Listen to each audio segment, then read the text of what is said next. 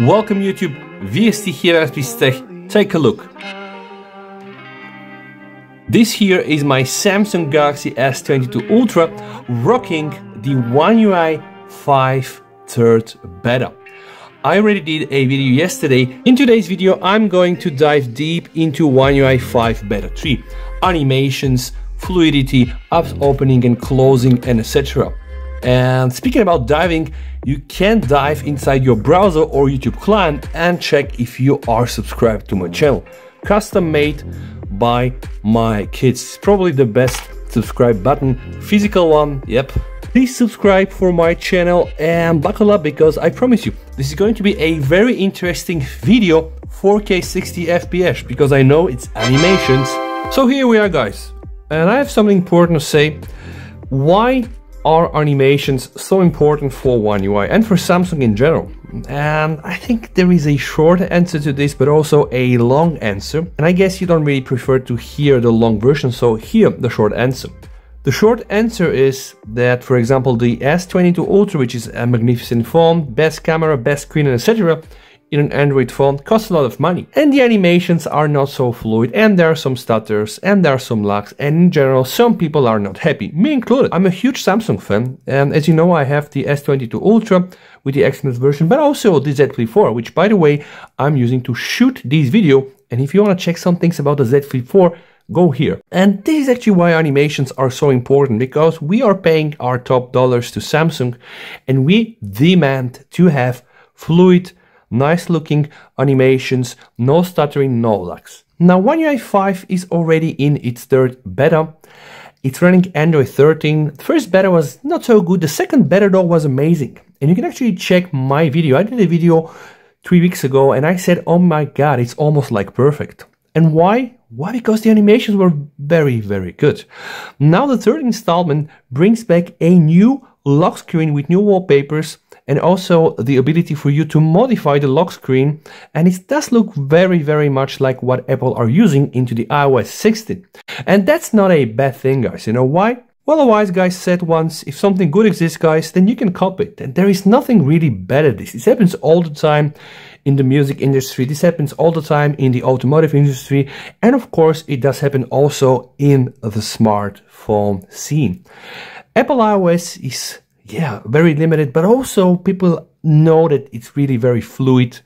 And of course, there are many other advantages. I'm not going to cover them, but what Samsung users want, or let's say what I want as a Samsung user, is to have this level of fluidity.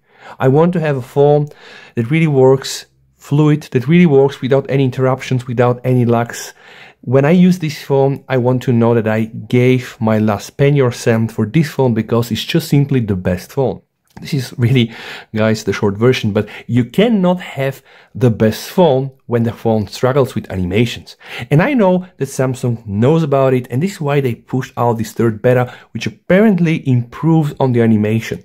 And this is also why I'm shooting this video in 4K 60 FPS, guys, so you can really check all these animations. And that is what I'm going to primarily focus now in my One UI 5 Beta 3 review. And the first thing, of course, we're going to start is with the home screen animation. So I just will do it right now. I'm going to be doing this quite a lot, guys, just to make sure that I give the phone a chance to show to us, is it doing a good job?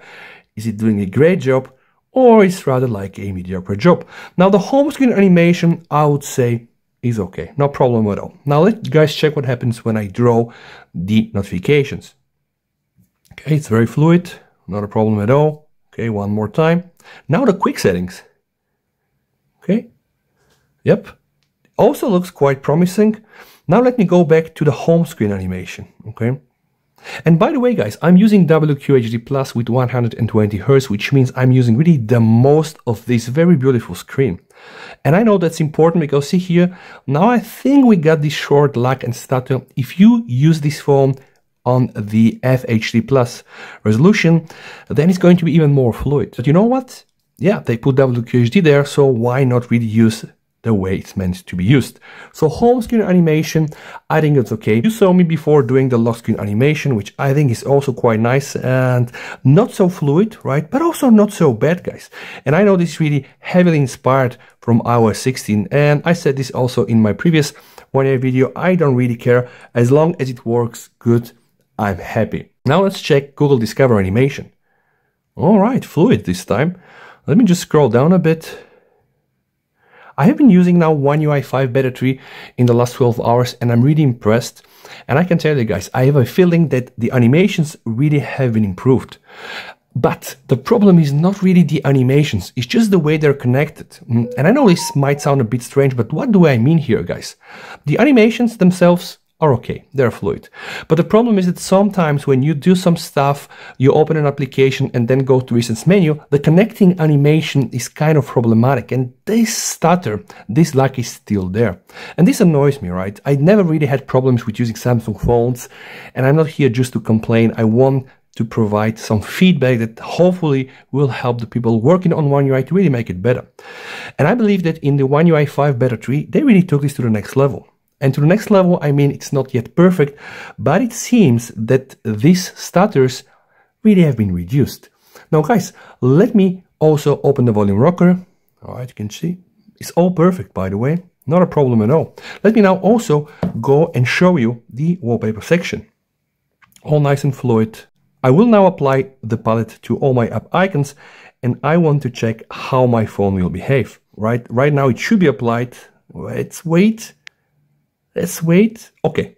Well, now, okay. Now I have this color palette applied to my icons. Okay, this works. I'm gonna go back and remove it. I don't like it because again, it doesn't really support all of my icons. And by the way, if you didn't really check my first video on the One UI 5 Beta 3, you can check it there. We have some new graphical wallpapers and also some new, I think nine altogether, color wallpapers. If you want them, let me know. I'll just put them somewhere online. I think I did some fair testing in this vertical mode. But do you know what's not fair? If you're watching this video and you're not subscribed. 98% of the viewers of my channel are not subscribed to my channel and yeah, that's not good. I don't like this. If you want to help me guys, please subscribe for this channel. Let me just test the same animations into this landscape, this horizontal mode. So I'm gonna test again this, okay? See, not so bad at all, guys. Still not perfect, by the way. You know, I, I just want it to be a bit more fluid. And I know there are some people in the comments that will say, hey, VST, you are complaining again. But you know, I want this to be perfect.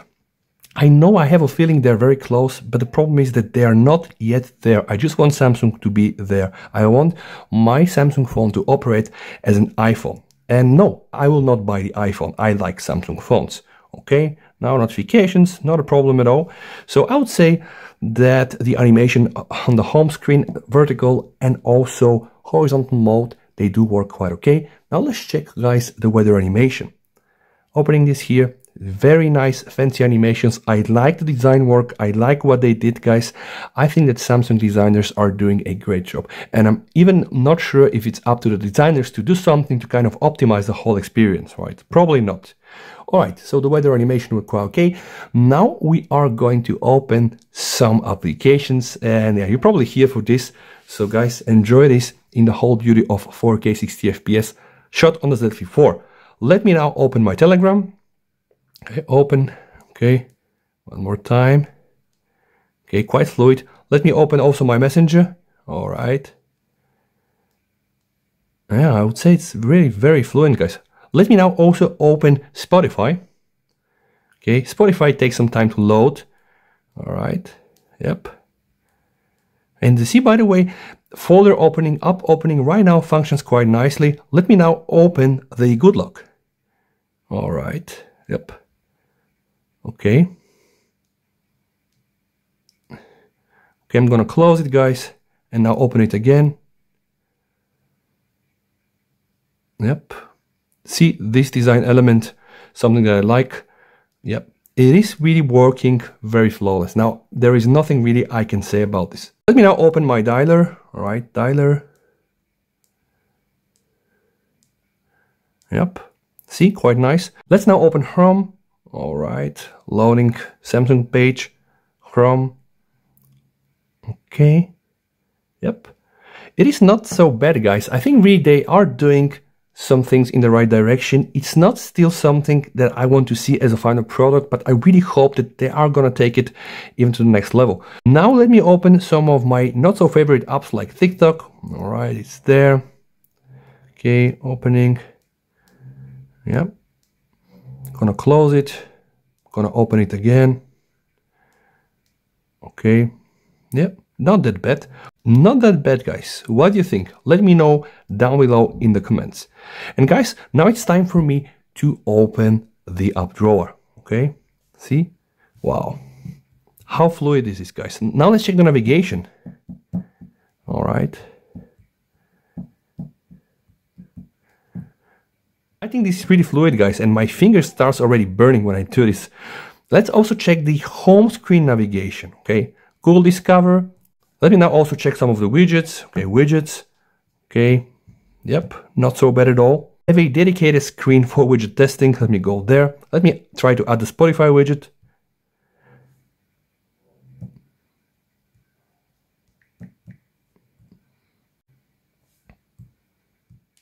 All right. Yep. Spotify animation on the widget is really crazy good, guys. See? No lags. We have here also the smart suggestions, that's quite nice. Yep, see, the animation works not so bad. And guys, right now here I have the recents menu. So let me just show you how many applications I have. Yeah, there really are plenty. All right. And we can also check the animations there. It's really very, very fluid, guys. Okay, we cannot really complain. And now, guys, something I want to show. This is the camera opening and the camera closing. And I know that's really very important. Camera opening, all right, closing. Let me take the phone, opening, closing, opening, closing, opening, closing. Okay, let's check. Rear camera opening, closing, opening. Yeah. Now let me show you something very interesting, guys. You know about the pop-ups. I have now my camera. I'm gonna open it like a pop-up, guys, and see here, right? I'm just going to change it and put this so that you know while I'm having the camera in a pop-up window also minimized, I'm really able to just move it around and it all works guys and honestly yeah this is really really fantastic and it's really crazy I can take pictures it's absolutely and fully functional camera that I have right now in a pop-up and you know we can do plenty of other things. I can open Telegram and I can also pop Telegram up. So right now I'm gonna have like these two pop-ups and still my camera is going to work. I find this to be very, very impressive guys. And if you go to the recent menu, everything is gonna get minimized. No lag at all. You can open it, you can close it and that's really perfect. Something very interesting guys, if I open my Telegram application and I just go into my recent menu guys, if I hold this icon I have the options to just drop it here to open. It's going to instantly open in a split screen, right? Which is absolutely fantastic. Then you know you can just swipe things. There are things you can do, right? And the lag is minimum, but there are plenty of other actions. Let me just show you. Yes, if I hold it one more time, I can put it there for a pop-up window. And right now, I think this is really very, very convenient. So let me just show you how this works with Facebook. It's the same. I can just, boom, put it there as a pop-up. Let me just open this one as well.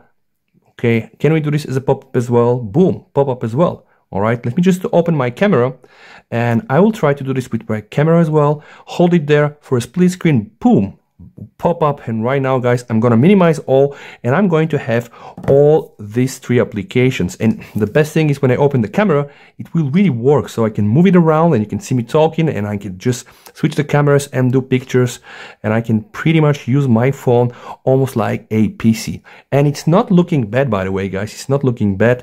I do believe that they really did a fantastic job. You can just see all the animations. I think right now are very very much fluid. And the only problem that I see is that sometimes there are these occasional stutters and lag between animations, right? Or when the phone, let's say, gets too hot, then I think that's understood. It really gets down to the level of not performing the way we expect. Guys, I really hope that you have enjoyed this video. Again, I wanted to put my focus on the animations and I think it's understood why. This here are the Samsung Galaxy Buds Pro. I did a video yesterday comparing these to many other earbuds that I use and that I have. So you can also check this video there, guys. And I really hope that Samsung are going to bring even more fluidity into the next versions, right? But we're not really so far away from Samsung releasing the final One UI Beta 5. With that said guys, don't forget to check if you're not subscribed. Yeah, I'll be happy if you do so. Stay safe and we speak very soon. VST over and bye.